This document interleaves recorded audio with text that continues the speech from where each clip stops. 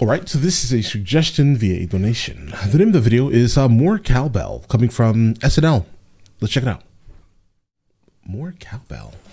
After a series of staggering defeats, Blue Oyster Cult assembled in the recording studio in late 1976 for a session with famed producer Bruce Dickinson. And luckily for us, the cameras were rolling.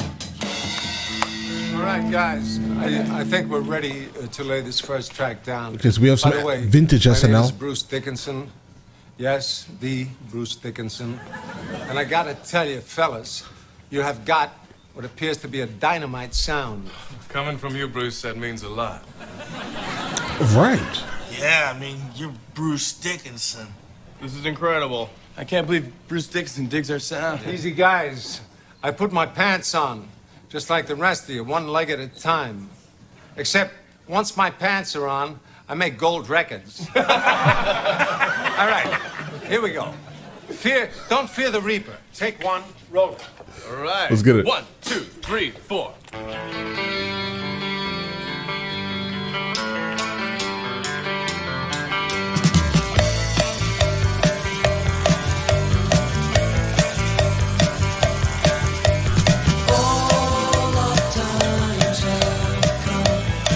Think this song exists, guys. I'm almost positive. Hey, wait, wait! Stop. Um, Bruce, could you come in here for a second, please? That, that was going to be a great track. Guys, what's the deal? Uh, are, are you sure that was sounding okay? I'll be honest, Yeah, it fellas, sounded it was great. sounding great, but Absolutely. I could have used a little more cowbell. so, let's take it again. And Gene, Yeah. really explore the studio space this time. You got it, Bruce. I Okay. mean, really, Yeah. explore the space. Okay. I like what I'm hearing. Roll it. One, two, three, four.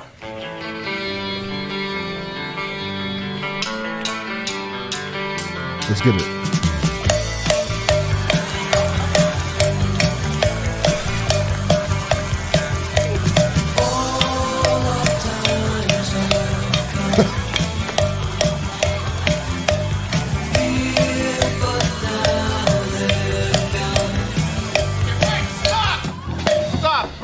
I'm sorry. Could you come back in there, please?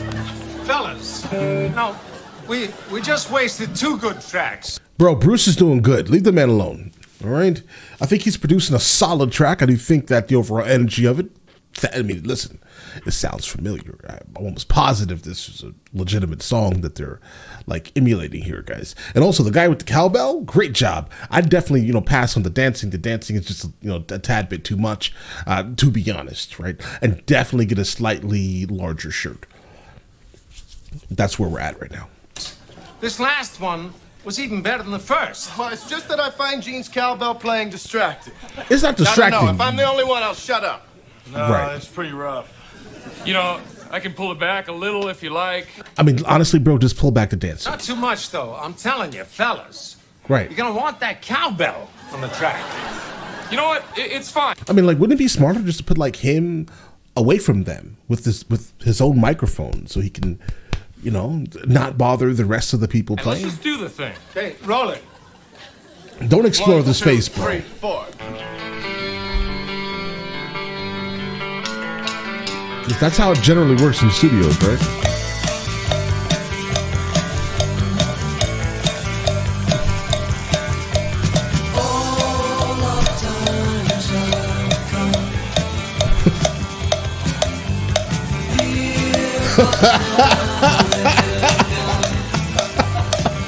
Come on, Right. It's not that serious, bro. You know, that that it doesn't work for me. Right. I gotta have more cowbell. There are issues here. Don't blow this for us, Gene! Quit being, quit being so selfish, Gene. Can I just say one thing? Say it, baby. Just say it. I'm standing here staring at rock legend Bruce Dickinson. The cock and a walk, baby. And if Bruce What? Dickinson wants more Bro, you're the what? staring at rock legend Bruce Dickinson. The cock and a walk, baby. And if Bruce Dickinson wants more don't know, bro. cowbell, we should probably give him more cowbell. Say it, baby. And Bobby, you are right. I am being selfish. Bro, it's it's the shirt for me. All right. I don't know if it's the shirt uh, or if it's like the belt. Um,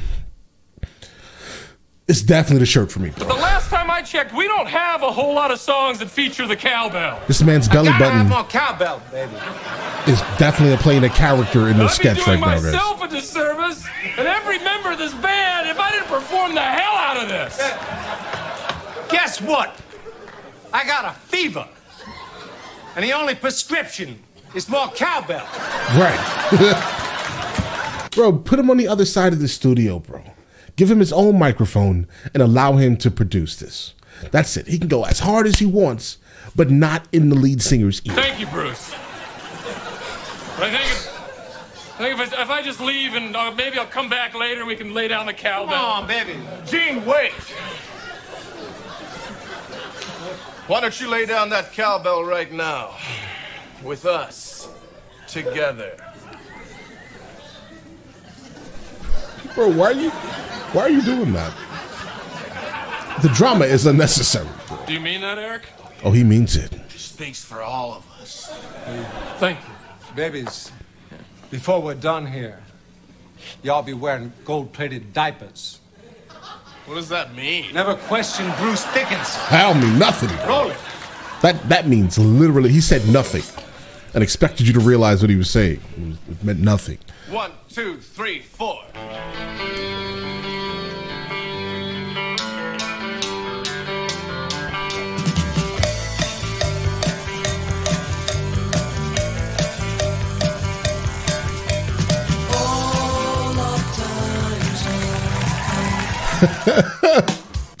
All right, guys.